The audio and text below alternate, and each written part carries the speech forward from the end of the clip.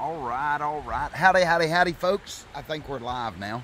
And I was um, wanted to come down to the river to do this today. I want to talk to you about how much should you pay for a vending location, um, and and the answer's simple, but there there's some keys to it. But you have to have it right in your head. And so my job today is to get it right in your head. Look how pretty that is right there. Um, I want to do something real quick, just because I think that it is um, Udemous. Um, I don't even know where this little button is, but um, apparently I can't find it.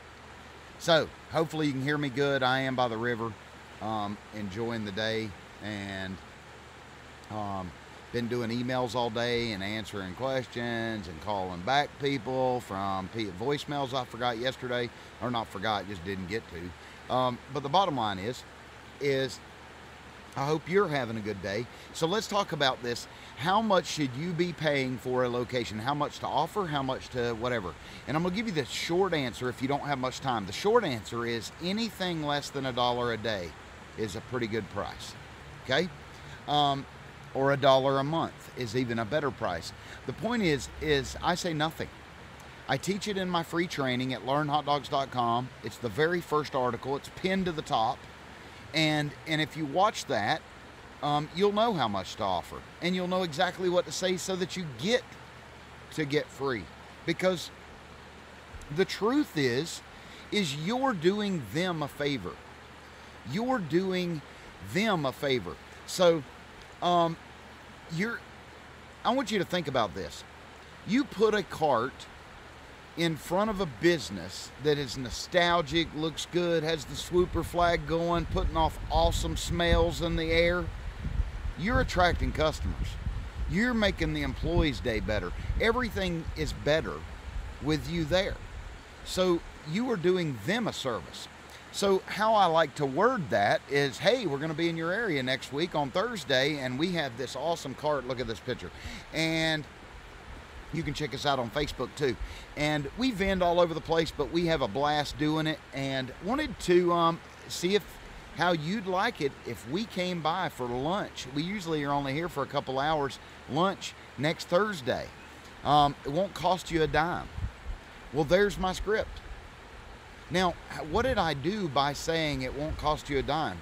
I immediately put into their head that I'm doing them a favor because I am. And you need to know that. You're helping that business. It's why, it is why people like Michael Wood in our Vendors United group have a, um, a gig at a Ford dealership. And the Ford dealership commissioned an artist to do a painting of their dealership parking lot and the building and everything. And they wanted Doug's dogs in that photo. Now, why? Because he brings value, added value to their business. It looks good, it's nostalgic, it's all of that and a bag of chips, cookies, donuts, whatever. It's a bag of all that stuff. So it just makes perfect sense. So you have to know that so that you don't go up there and go, hey, hey, uh, you know, uh, look at my shirt. You see the dude with this kind of droopy, okay? Um, you don't want to go like that, head down. Hey, I was wondering if uh, we could we could vent we could uh, vend here today, and they'll go bling bling bling. They'll get little idea bubbles above their head immediately. You'll be able to see the dollar signs in their eyes. Okay, they will go. Oh, this is a great opportunity for me to make some extra money and they'll be going well i could yeah we could work something out i'm sure and and it could be like 50 bucks a day or something or maybe hundred. Now i talk about places like um, lowes and home depot these big box retailers who charge you okay charge you. And i've always discouraged vendors from going that route because hot, lowes and home depot they don't make up the decision who is going to be there the manager may tell you you can, but I promise you, if a district manager shows up, he'll he'll boot you out and say, "Hey, did you go through Street Eats? Did you go through best best um, vendors um, to get a, a, license and everything, a permit to be here? And are you paying them fifteen hundred a month to be here?" then then you can't be here. So who wants to do that? There's too many other good locations. There's free locations. I have a list right in the video description of three links that you're going to want. Okay? One, exactly what to say to get free locations. Two, where the best locations are and the most profitable locations for vendors by pro vendors. Okay? And three, how to get any stinking freaking vending location you want absolutely free and sometimes even get them to pay you for it. Okay? We got a vendor um, that that was he, he was in South Carolina, and I say was because he's since passed away. Um, he was in South Carolina, and and I taught him and what to say. So he pitched his idea to this business. Now this business is a strip club, and it was about the only business near him other than some gas stations and stuff. He lived very rural, but there was a strip club, outskirts of town of a bigger town, but near to this little bitty podunk town in South Carolina. And so it's a strip club. And so I told him what to say. He went up there and and he did it. Well, they were ecstatic. Ecstatic. But he left off one crucial thing. Okay? He left off saying, "We won't charge you a thing." Okay? He forgot. He got nervous. His wife was with him, okay? And he just he was in his 70s and he was just nervous. He called me back and he goes, um, Ben, you're never going to believe this. You're never going to believe this. I, I, not only did I get that strip club to, to work in front of, they want to pay me to be there. And I said, freaking awesome. And he goes, yeah, I forgot to even mention that I that I wasn't going to charge them, so they assumed I was going to charge them, and they offered me money to be there every night. So he was getting, I believe that one was 150, may have been more than that.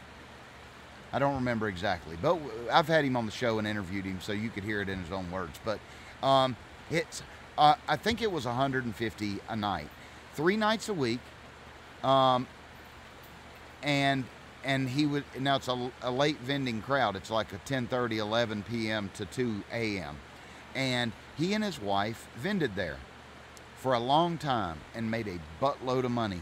And no matter what, just like Kate sh- shared with you the other day when I interviewed her, she shared the fact that they're paying her to come. And it's all in how you present it. It's all in how you present the fact that you're doing them a favor. You're doing them a service. You're helping their business. It's a win win win, right? It's all that and a bucket of chicken. So it is a, the bottom line is don't pay. Don't pay. Don't even, don't even have that number in your head. Don't have a number in your head.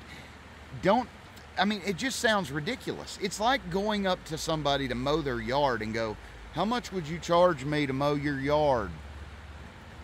Well, you think they're going to see dollar signs? One, they're going to think you're crazy. Then they're going to see dollar signs and they're going to be like, well, you can mow it for you're gonna pay me 50 bucks and I'll let you mow it. And um, if you weed eat it too, I'll um, you can yeah, I'll, 60 bucks. 60 bucks you weed eat it too, and um, you can pay me that when you're done, as long as it's a good job.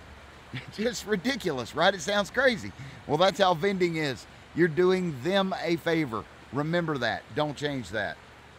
Um, Matthew Orth, the ultimate location, he says, and what he what he's talking about there is is the um, is location of a strip club. They are fine um, to work at any kind of bar and stuff. I told y'all about the lady in um, what was she? She why is this stupid thing messing up on me? Um, I told you about the lady at the bar in Nashville, Tennessee. She bought one cart from me, didn't even speak English, didn't have a license, wasn't even legally in the United States. Um, I'm almost 100% positive. And she ends up with three carts and she's working bars and stuff at night.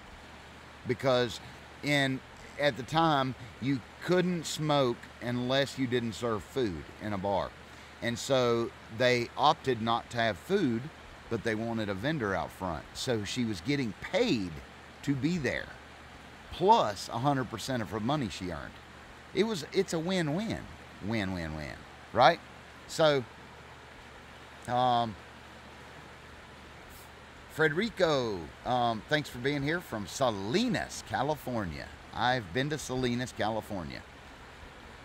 I actually have an ex sister in law and brother in law there. Um, David Wooten, I've been learning a great amount, so we are almost ready. No cart, but that will come soon. Absolutely. You got plenty of time. There's no bad time to start. Okay? There's no bad time to start. You heard Caitlin the other day on the on the interview, right? She she said her only regret was not starting this sooner. And, and that was her only regret. She wished she had started sooner. You'll have the same regret, but it doesn't matter. There's never, the, the best time to start is now. And so you start when you can, and it'll be good um, whenever you start. I don't care if it's December 22nd. Um, um, Jamie Coyne, um, did I get your message about the Cookie Man? Um, I got your message the other day. I messaged you. You did two messages, and and I I sent you back a long message. I never got anything back after that. Um, I'll double check, but I don't think so. Anyway, that was it. Um, it's a beautiful Sunday. You can see here. Um, I am I am out by the river. Look at this. Look at this. Is that not just freaking awesome? Look at that. Look at that. I got ribs on the grill, slow cooking on my Rec Tec, and um, having a blast today. Love you. Talk to you soon.